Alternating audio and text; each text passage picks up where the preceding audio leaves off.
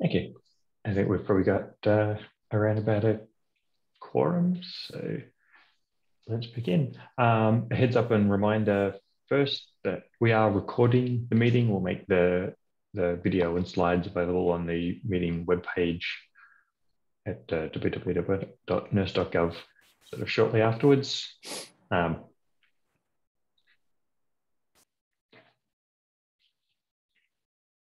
yeah, okay, so we'll follow our normal format, which I think people are, are fairly familiar with now. Um, the idea of this is to be an interactive meeting, um, which is to say, please participate. Uh, you can you can either raise a hand or or just unmute yourself and and speak up when you've got a, a question or a comment to make. There'll be lots of opportunities for that, and I think we're you know we have got around about 20 people at the moment, so that's a, a comfortable enough uh, size. I think that we can just speak up uh, we also have, if you're not already part of it, the NERSC user Slack. Uh, I'll paste a link to that in the Zoom chat.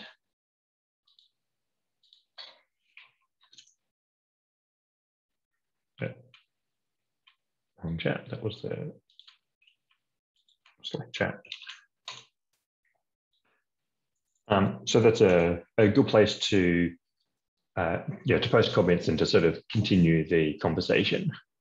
Uh, and we we tend to use the webinars channel just to keep it as a, a separate place from the general channel. Yeah, but either is good. If you're not part of Slack already, you know, it's a, a great um, forum for you know, swapping ideas and communicating with other users and yeah, giving heads up about uh, yeah, something doesn't seem to be working, asking questions about how to do things. So our agenda will follow kind of our normal pattern. So we'll start out with a, a win of the month, and that's flip side of uh, today. I learned we've got a few announcements to make, and there's uh, yeah, opportunity to yeah, for participants to make announcements there too. And then for our topic of the day, we have uh, Norm Bourassa from NERSC's Building Infrastructure Group, who's a uh, energy efficiency expert and has uh, yeah, uh, done a lot around uh, NERSC's setup for energy efficiency with uh, with its computer room. So he'll uh, talk us through a you know, a little bit about some of the things that we're doing and have an opportunity for discussion there. And then we'll finish up with some you know, looking ahead to what's coming up and a quick run through our numbers last last month. So starting out for uh, win of the month. So the aim of this segment is to, you know, basically share and, uh, and celebrate the achievements in our community. Um, and they can be big or small, getting a paper accepted, solving a challenging bug.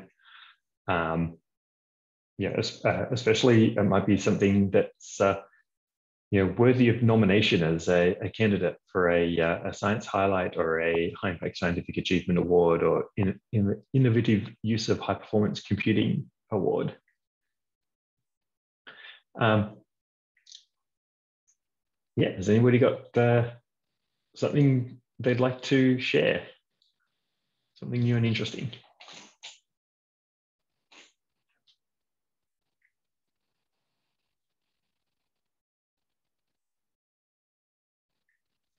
On NERSC's side. I'm pretty sure this happened since our last uh, gathering with the uh, ISC June top 500 list came out. And uh, Perlmutter came in at number five, which is the, the same point at which uh, Cori debuted, actually, so number five on the list. So uh, I know a lot of people put a lot of effort into uh, getting the, yeah, the system up and ready and yeah, running the, the benchmarks for that.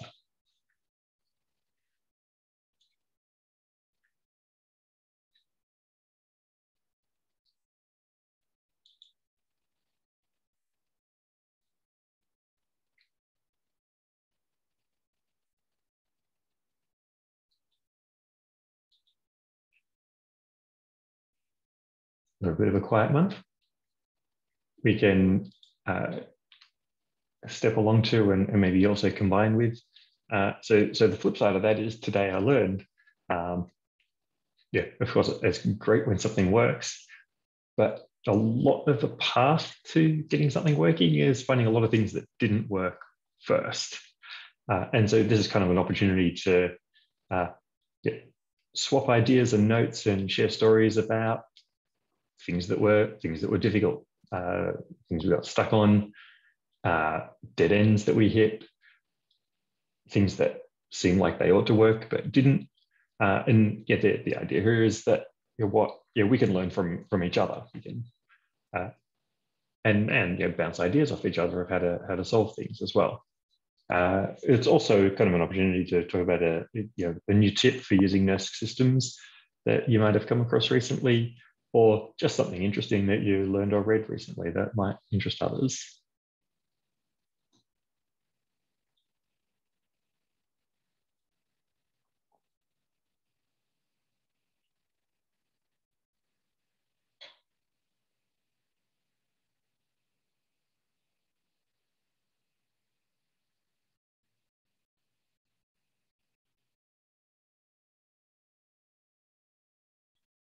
Been a, a very quiet month by the sounds of it.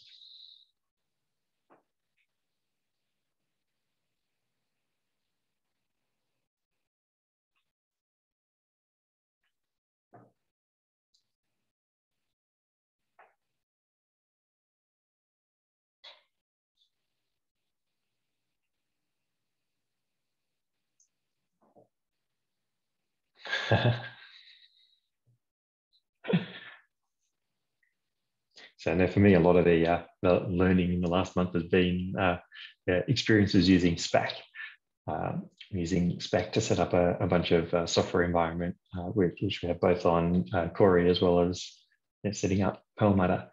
And uh, it's a it's a very powerful tool. it does a, a, lot of clever things. it could also be a yeah, there, there, can be some challenges um, yeah, working out what didn't work when a when a build failed. And uh, yeah, it's it's uh, an interesting experience, sort of you know, diving in and uh, looking at how it uh, you know, how it does things. Um, but uh, something that's been really helpful there is the community on on Slack. So if you're if you're using it to install software, there's a, a Spack Slack, which has quite a, a helpful group of uh, users.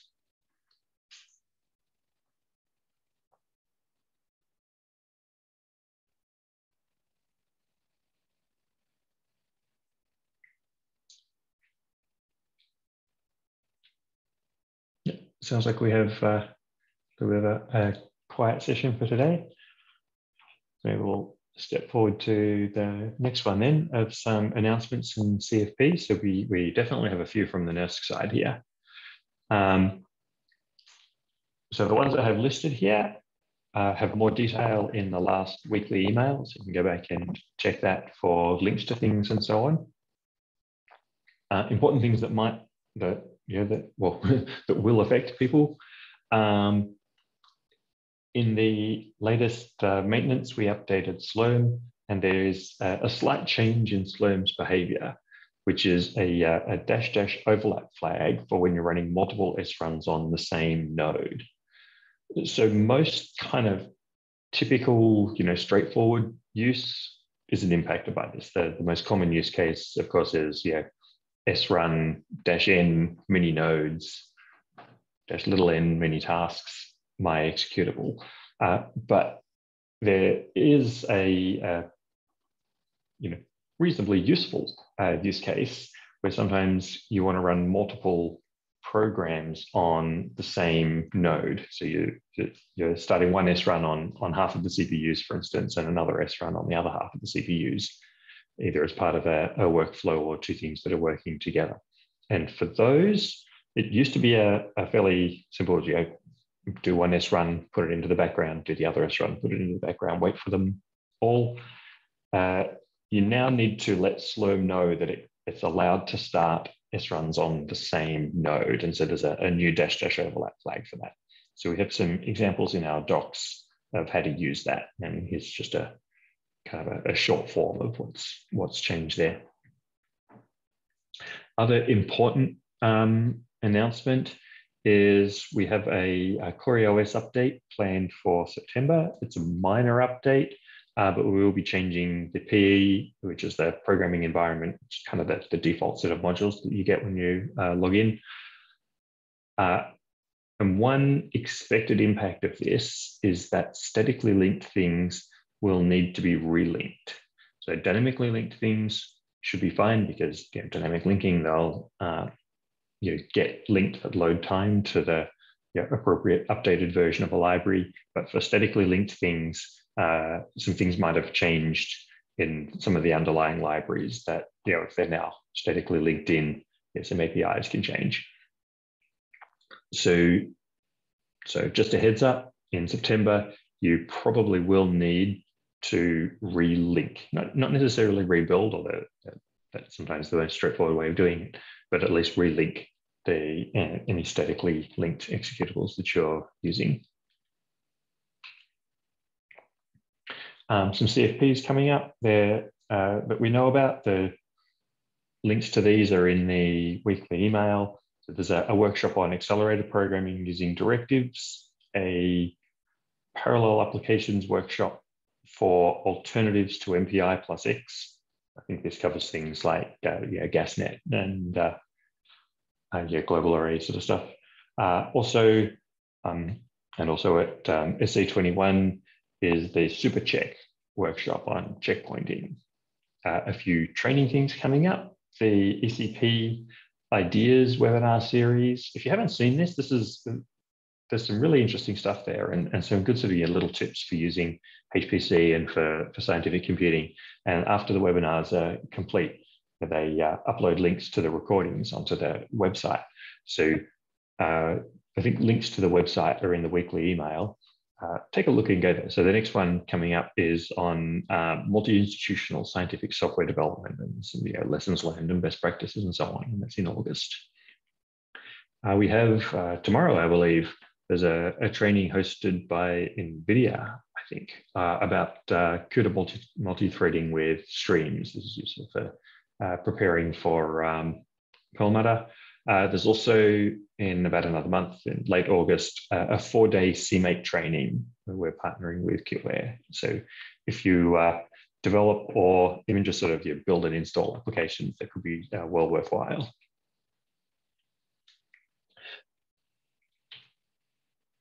And uh, one other kind of yeah, interesting announcement that we have, if you haven't seen it already, the E4S, which is the extreme scale scientific software stack, I think, um, which is part of the ECP project, is updated uh, version 21.2, just to say February, um, February 2021, is now available on Cori.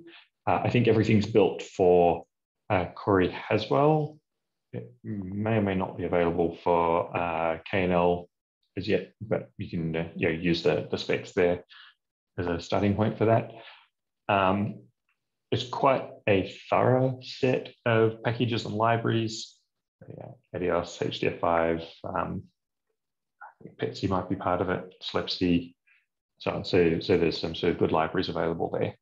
Uh, to get it, it's sort of a two-step process. You'll need to module load E4S stack first, and that will put other modules in your path with the specific packages. It also sets up a, a Spack environment for building things on top of it. That's the announcements that uh, I have from NERSC's side. Does anybody have any other uh, calls for participation that they'd like to bring up or announce?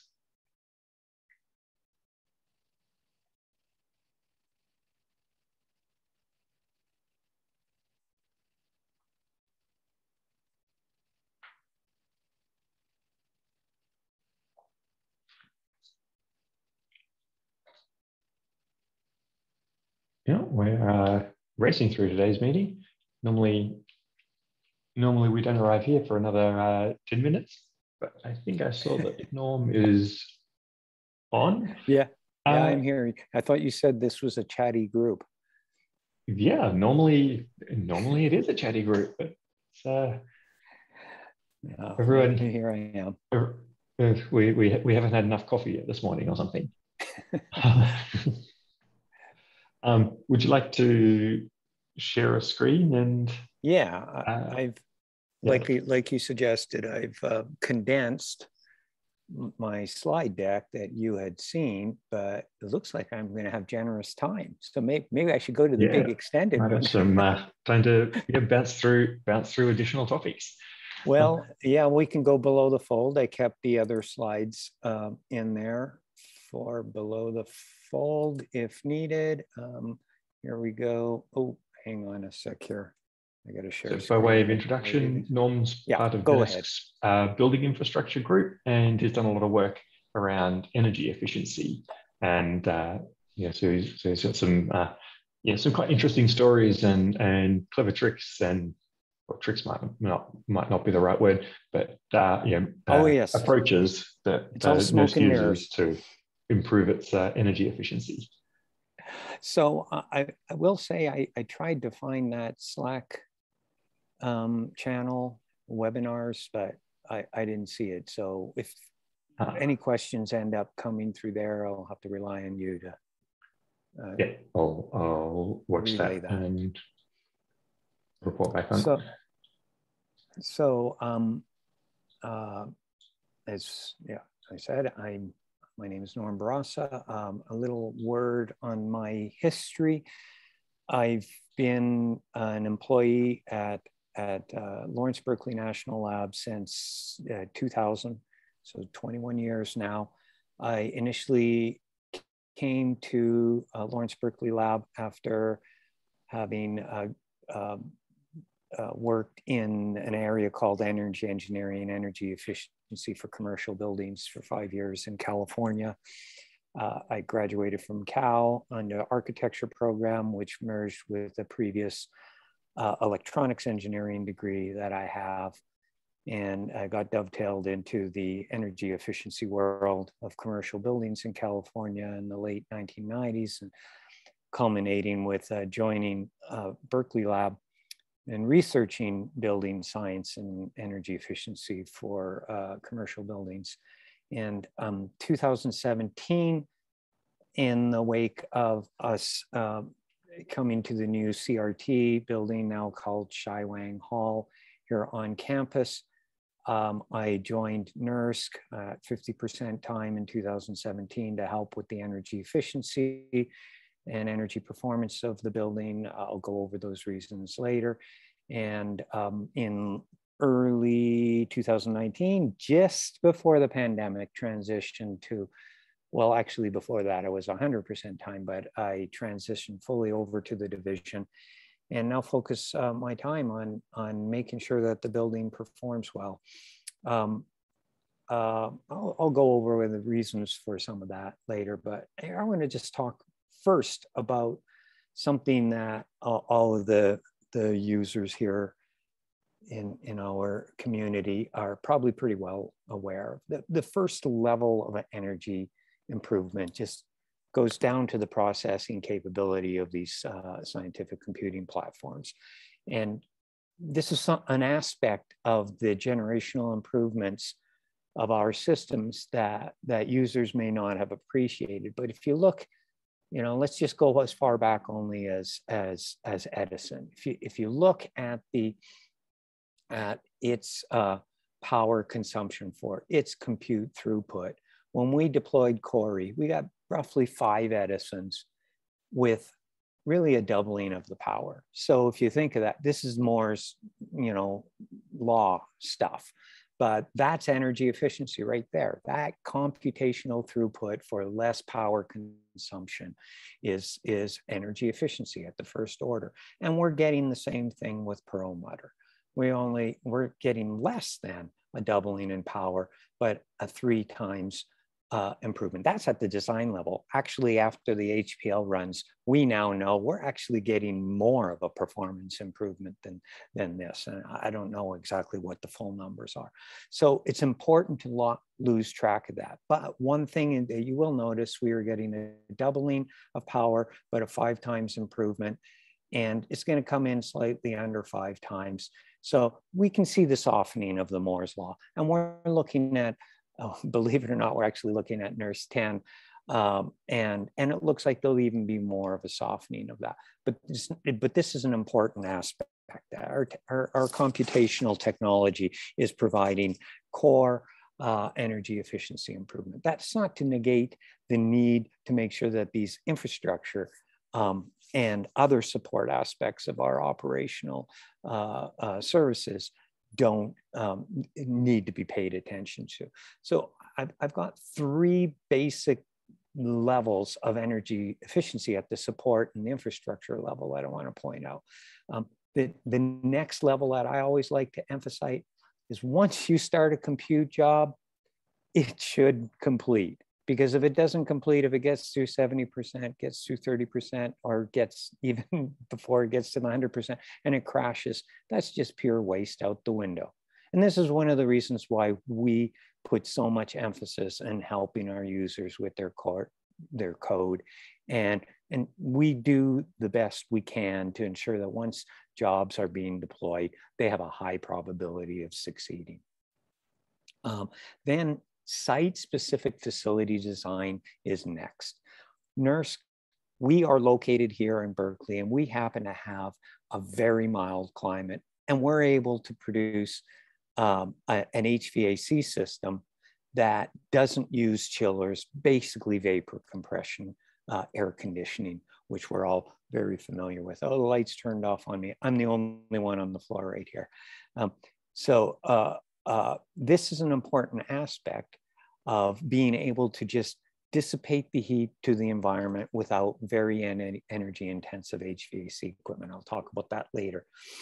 And then the last thing is once you have that equipment deployed, having high resolution monitoring tools and data analysis tools to, to adequately adequately determine whether the, the, those systems are performing optimally is a perennial challenge. And NERSC has invested a lot in, both in staff and, infra- and, and systems deployment to, to be able to, uh, uh, to monitor how our systems are performing, analyze and, and improve them, this, this, this positive feedback loop.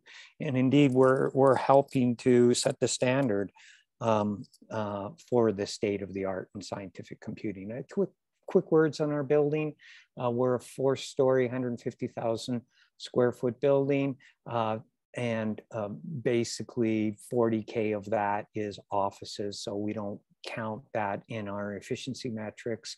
Uh, we basically have a, a power supply uh, capability of 21 and a half megawatts, which is usually uh, about double what our expected uh, draw is, and our two systems, Perlmutter and Cori, are capable of, of drawing a peak of 10 megawatts.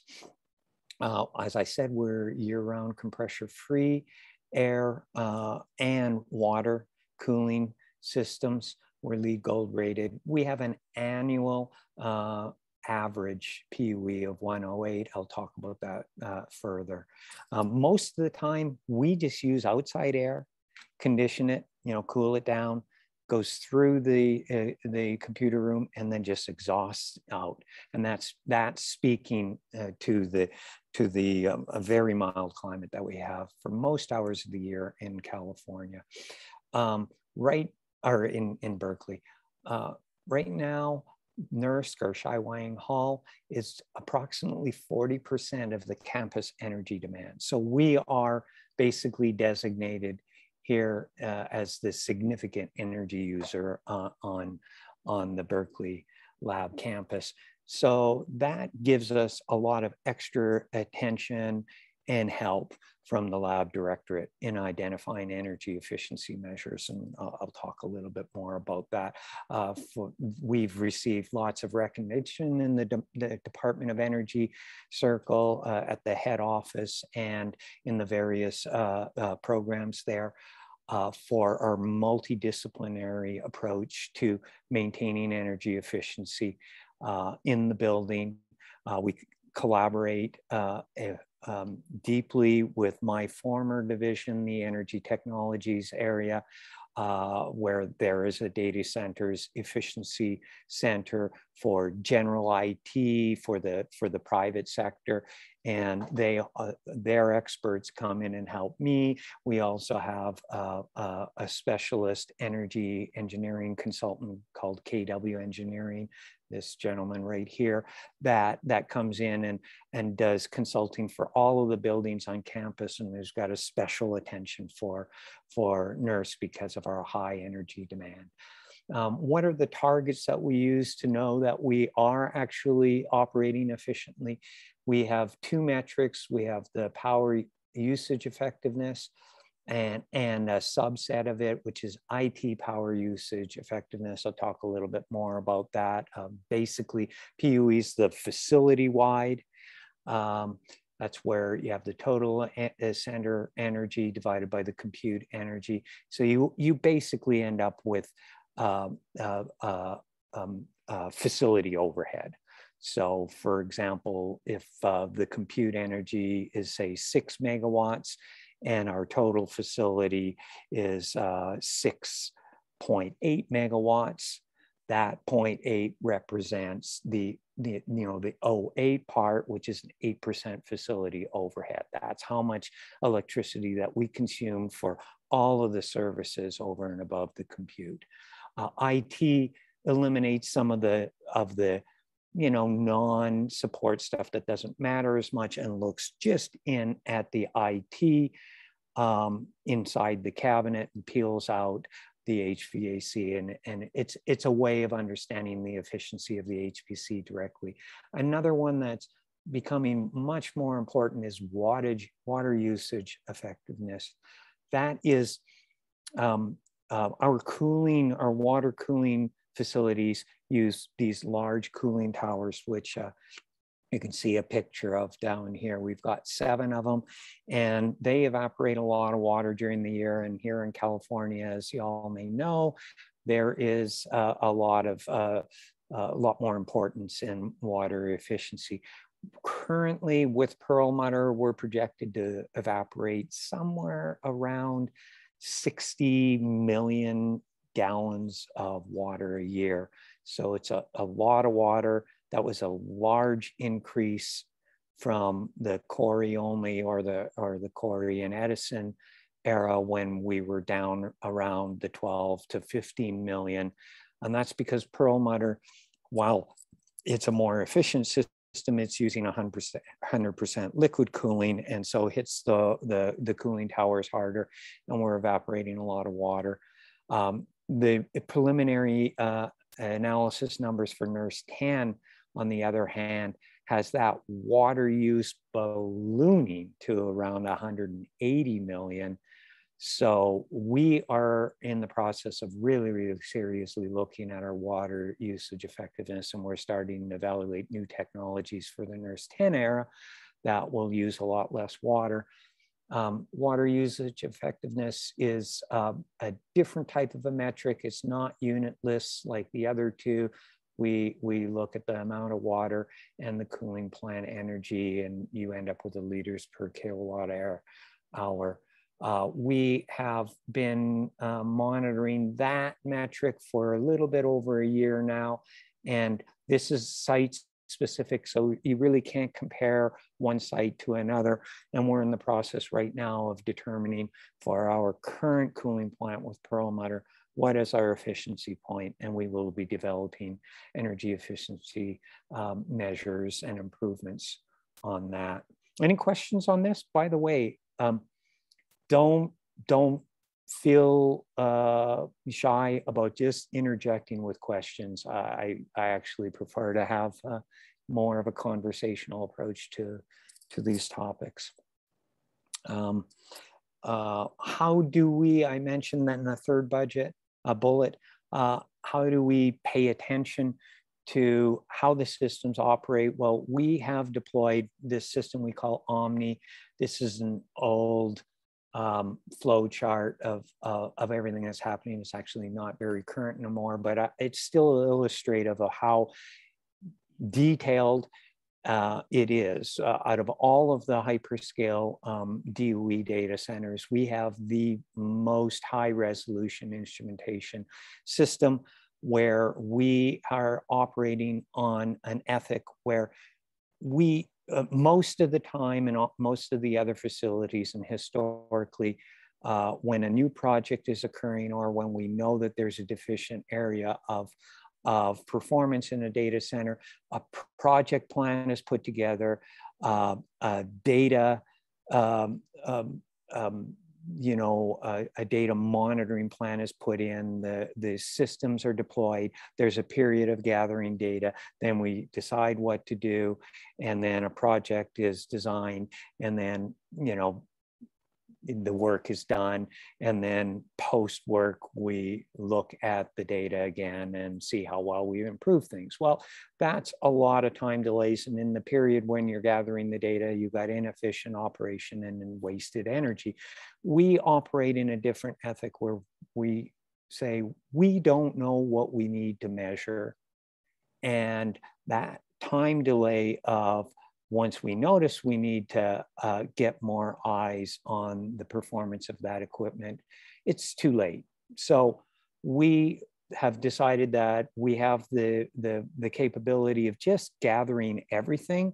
And when we see that we have a problem, we will have that data already. We can go into implementing corrections and adjustments immediately. And thus the Omni was born and and so that's what we have we ha- and we keep the the performance data indefinitely um, we we use the omni system and data that we have becomes this triumvirate of, of support for our, our, our, optimization of the entire facility with the Sustainable Berkeley Lab. That's the, the LBL directorate that, that helps uh, leverage their resources to help us improve NERSC. And it's this uh, positive collaboration, which is rapidly becoming uh, a template for uh, for energy efficiency improvements in the entire DOE. Indeed, the the um, the hyper uh, scale scientific community in large. One example that of an area that's becoming emerging in all of the large uh, top 50 type data centers is this area of operational data analytics. Um, our Omni pl platform does this, is, is that it commingles HPC telemetry and HVAC infrastructure uh, monitor data into a common uh, database that we can then analyze together, time synchronized, and be able to deploy solutions. Uh, this, this is a very, very powerful uh, tool. Um, this tool right here, SkySpark, allows us to look at, uh, at all of our, uh, it, it basically has Cray fan, blower fan performance data from, from Cori in this same platform along with the HVAC. And it allows us to look at we establish a ba baseline. This is showing a scatter plot that's showing the cooling plant performance in both a baseline period and a targeted um, uh, analysis period.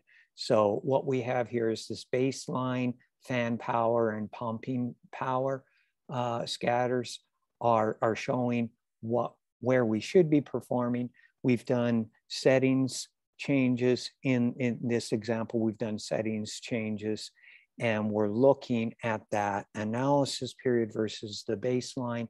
And this plot is showing that, um, that we are actually um, burning uh, a lot more energy here in the, in the cooling tower fans. And so this helps us zero in on, on uh, the settings that are in, in the cooling plant. Um, and we can do this real time and we can iterate and dial things in. Yes. See, I, I noticed on, it was just this past weekend, um, this uh, being used in, in real life, in fact, and, and probably non-concomitant with more detail. But so we had a power outage over the weekend uh, for yep. power maintenance work.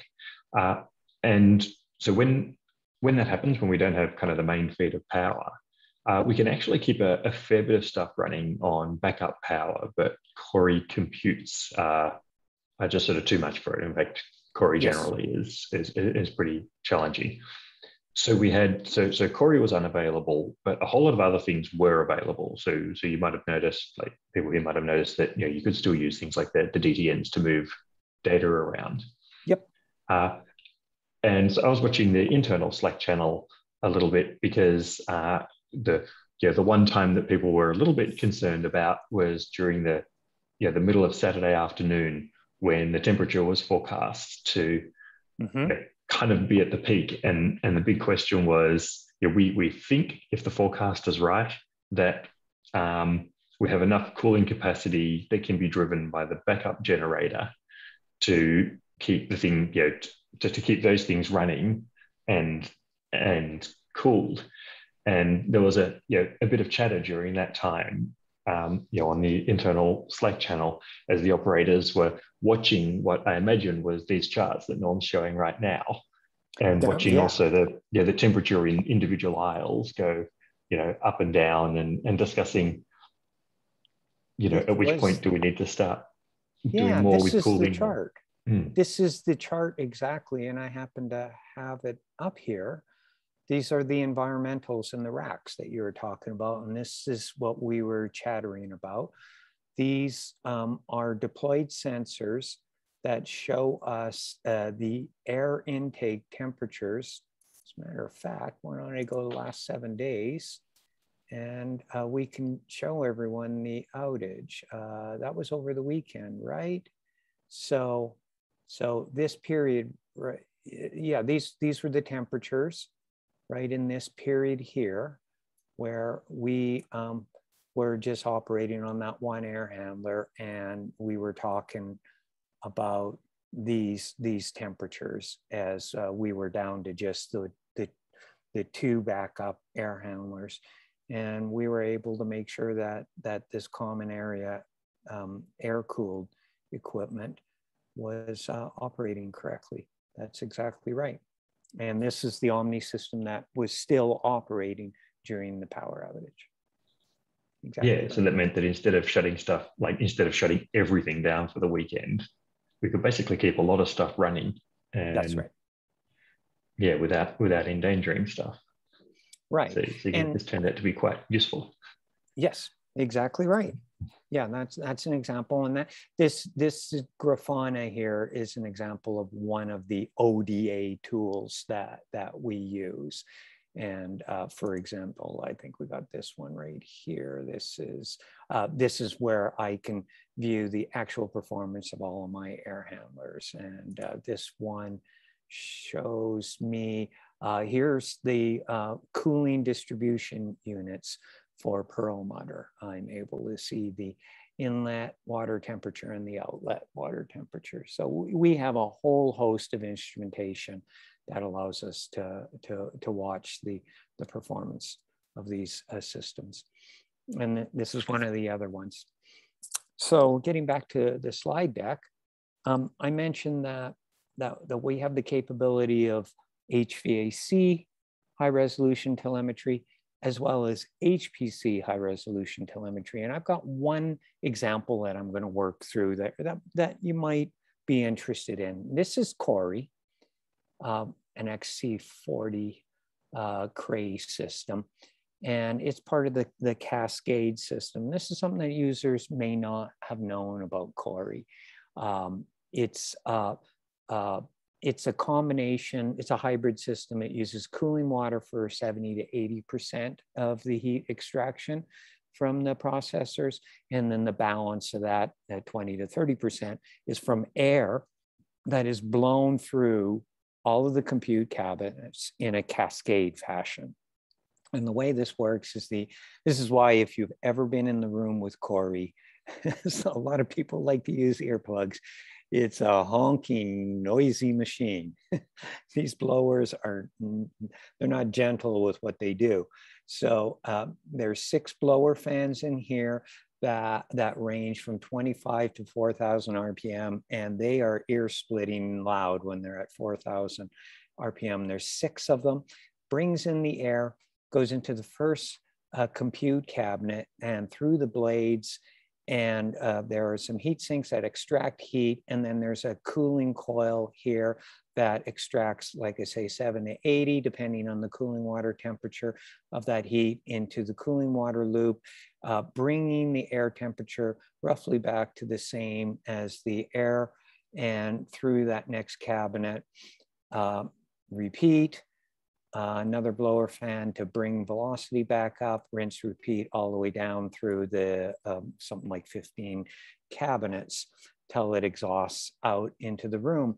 Well, we um, interacted with Cray way back uh, during the Edison phase to, uh, to tell them that, hey, these fans consume a lot of energy and it was a significant portion of, of uh, Edison's at the time um, uh, total energy consumption, roughly 12%.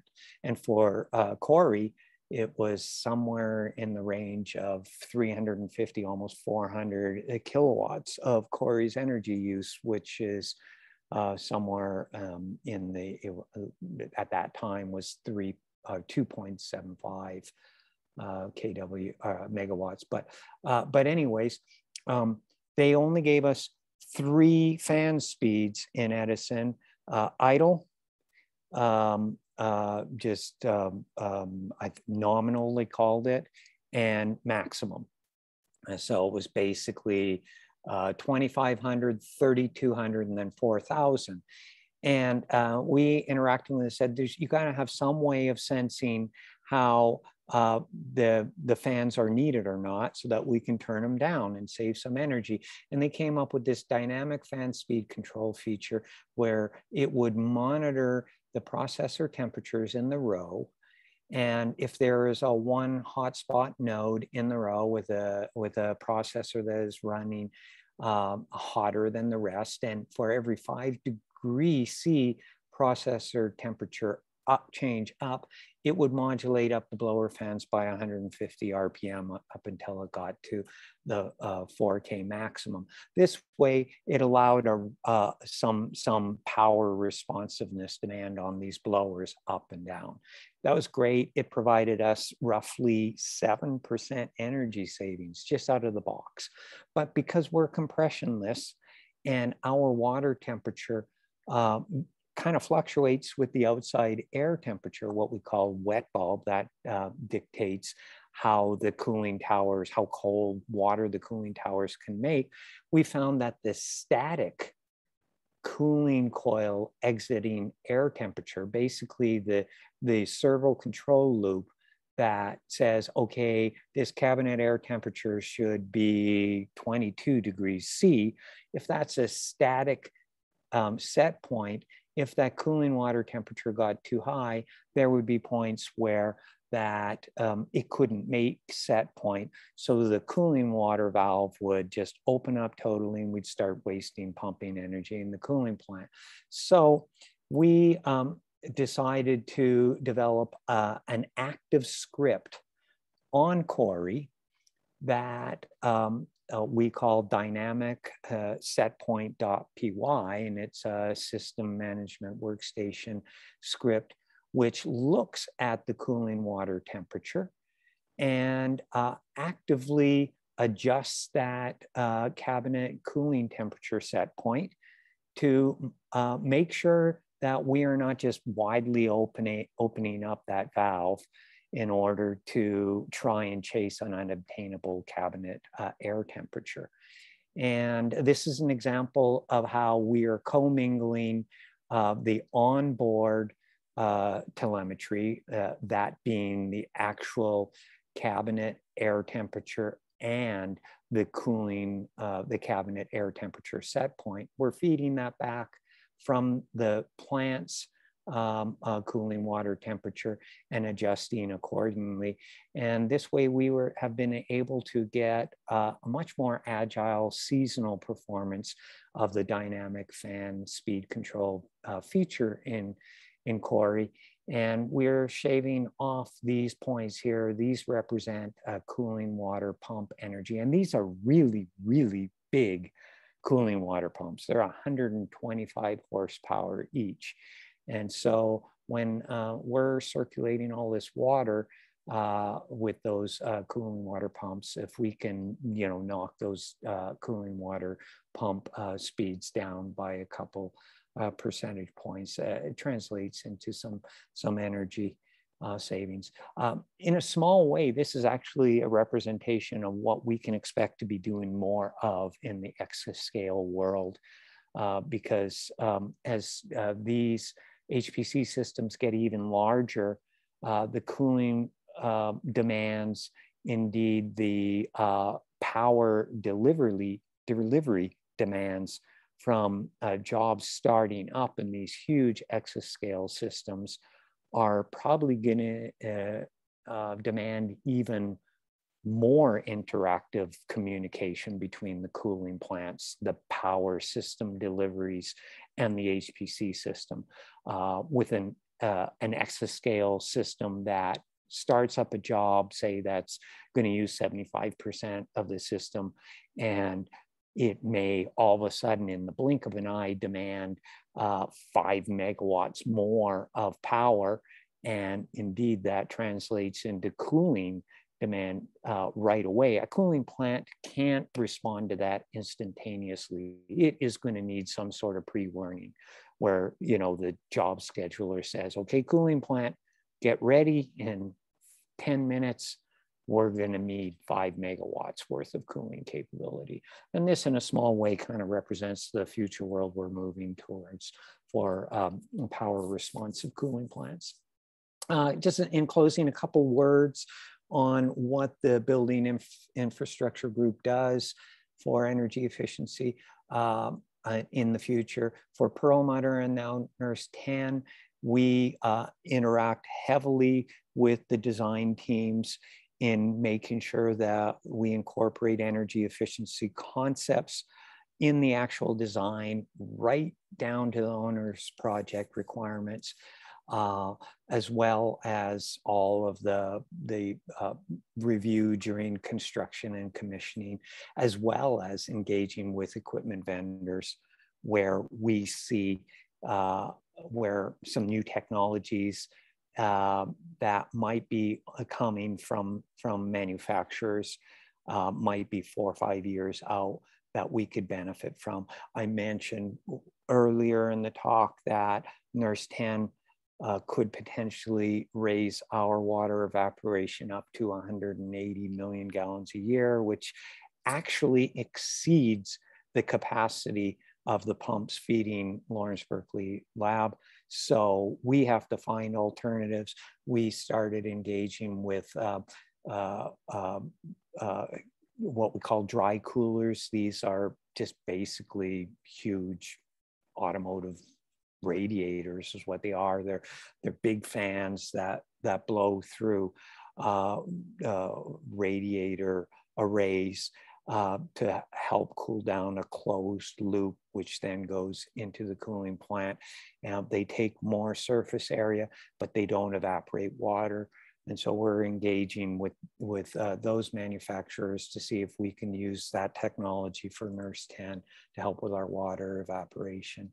Other NERSC activities that are in planning, uh, we are looking at uh, machine learning uh, uh, methods to help us optimize our settings, uh, especially with the, the, the balance between uh, the feed of the cooling tower fans, our most energy intensive uh, component in our cooling systems versus the pumps, uh, which are a little bit more efficient.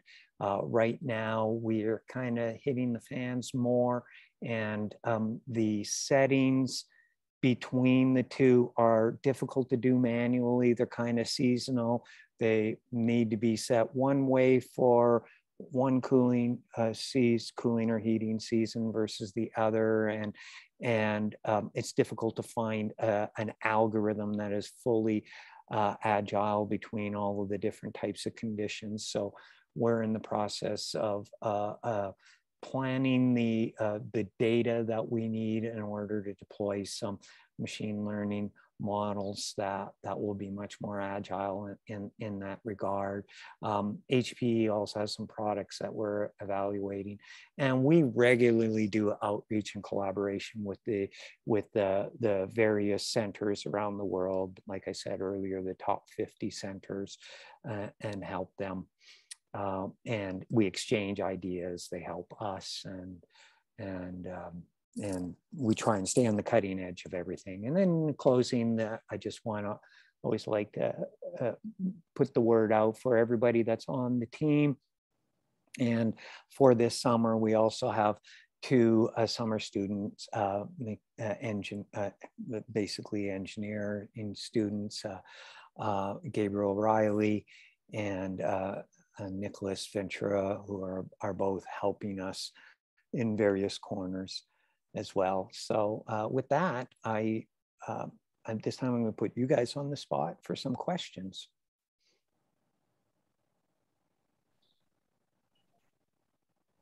That's really interesting. Thanks, Norm. So a, a couple of uh, questions and comments that that uh, your presentation brought to mind. Mm -hmm. So I thought that was really interesting that you found almost like a, a law of unintended consequences there where adjusting the fan speed to improve the efficiency of Cori kind of had this like it interactive it effect. triggered yeah it triggered an interaction with the cooling system that that then kind of undid the good that the fan speed was doing and so by sort of coupling the information together basically you're able to you get them to cooperate instead of um, stepping on each other's work yeah it, it um it's like we had these offsetting savings. So we got savings in Cori, but then we, when we looked at it holistically with the second order effects that might be elsewhere, and this is very common in building science energy efficiency. All the time there are second order and third order interactive effects. Um, we it, it, looked like they were roughly, uh, roughly offsetting. Um, now, this is a unique situation in our facility. And, and every facility is a prototype. We, we are also site specific. A lot of the other Cray XC deployments uh, and, and, and other centers, they will have chillers, meaning their chilled water loop has a set point and the, the air conditioning equipment makes sure that that set point tightly stays within a tight window. So they wouldn't have had this issue because that chiller is just going to be using whatever energy it takes to maintain that cooling water temperature. So in that situation, the dynamic fan speed control out of the box with, uh, with the Cray XC system actually works very, very good. But in a situation where that cooling water temperature diverges a lot uh, due to the outside conditions, that static set point, cabinet air temperature set point does get into a, a, situation. This was a very agile solution, and uh, the the the CSG group here uh, uh, worked. I, I got to send all sorts of thanks to them and the and Owen Owen James in the uh, uh, OTG group who de developed the initial Python script and and then several people and uh, Aditi Gaur is now the expert in the CSG group that uh, that that helps with it and um, uh, uh, I actually presented this way back at NUG Extreme at um, Supercomputing uh, 19, I think it was. Yeah, was it in Denver? Can't remember. Oh, it was in Dallas. Yeah, That's right. In Dallas. Oh. In Dallas. And um, uh, um, presented it as, you know, this could potentially be a, a feature improvement. And um, I don't, Cray didn't opted not to go that route, but that's because very shortly thereafter, pretty much everything, all of their capabilities were focused in on Shasta. Uh, but um, yeah, that eh, that is not uncommon in energy efficiency. Second order and third order effects can often offset your first order savings that you thought you were going to be getting. Yeah, so it's, it's never quite that simple. So the, the other thing that you reminded me, and and either uh, Norm or possibly somebody else on I see Sridhar is on as well, uh, can can clarify. So for for NERSC users, uh, the sacct command um, has a output option where you can get consumed energy. And for completed jobs, it shows a value. And I hmm. think that's getting the energy from, from somewhere in the Omni system. Do you know if that's correct? Yeah. Can you show it to me? And I'll stop share and you show me that. And I so, should be able to tell you. I am relatively confident that's going to be the SEDC, which is the onboard telemetry of the um, CLE operating system. Yes, you're right now.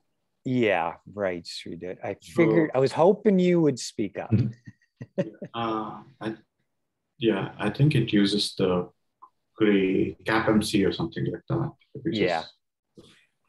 Yeah, but but you know, nominally speaking, yes, it it it is the Omni system that extracts that and then likely serves it up to the NERSC community, user community. That's exactly correct.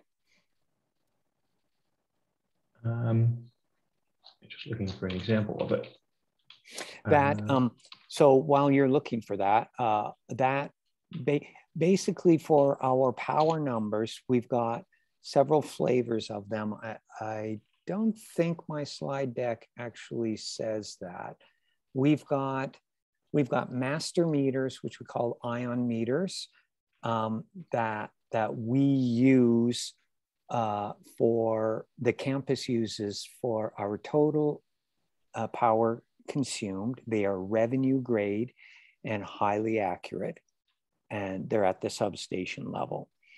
And then uh, the uh, SEDC meters that, that look at Cori alone are, um, uh, there are some onboard power sensing meters that, that go through the SEDC channel and into Omni. And then we have some, and I believe those use Modbus protocol, which we use to pull those into uh, to Cori. They're not, are into Omni. They're not revenue grade, but they're very highly accurate. And for Perlmutter, um, we deployed new meters, uh, which are, are called, uh, their trend point uh, interval meters, highly accurate, just, just tiny bit less accurate than the ion revenue grades uh, very, very high resolution, so much so that uh, we decided to submit our um, uh, top 500 uh, as a level three because of the high level of sampling rate that, that it used. I see that we're getting, we're probably out of time. Ooh, we might be uh, pushing time, you're right. Um, yeah, so for um, for people interested in seeing energy use via sacct, um, sacct dash E, lowercase e, shows you the list of fields that it can display, and the fields are called uh, consumed energy and consumed energy raw. Yeah.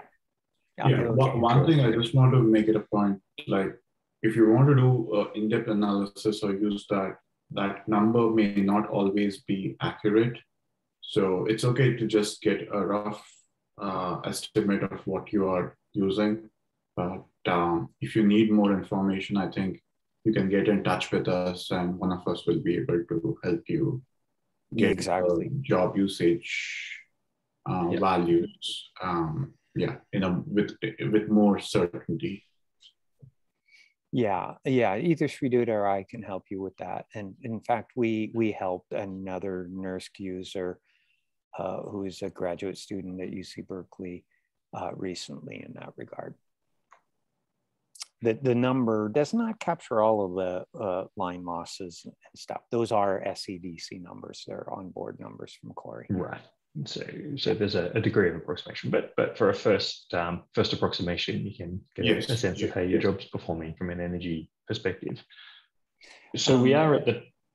Oh, Steve, I I will um I will uh, give I'll, I'll, point you to where a PDF is of this uh, deck, just in case anyone wants it. Okay. Sounds great, and we'll um, we'll post that on the website uh, fairly soon. So we are at the top of the hour, and people probably need to uh, head to the next thing. Um, we'll just very quickly rush through the next couple of items. Uh, so coming up, um, uh, ERCAP season is coming up, so we'll probably uh, aim to have uh, a topic of the day around ERCAP. Perhaps for the August um, webinar, always interested in topic suggestions and requests, and uh, especially if uh, participants would like to show off their work, uh, let us know. Last month's numbers, uh, we didn't have a the regular scheduled maintenance in June. Uh, we had a, a couple of uh, brief, I think not even complete outages, but system degraded events. Utilization has been sitting fairly steadily up in the kind of 94-ish, 95%. Um, about a third of the jobs that we saw on Cori were using more than 1,024 nodes. And our uh, ticket incoming and outgoing rate is uh, sitting, sitting kind of reasonably steady. Thank you all, and we'll look forward to seeing you next month.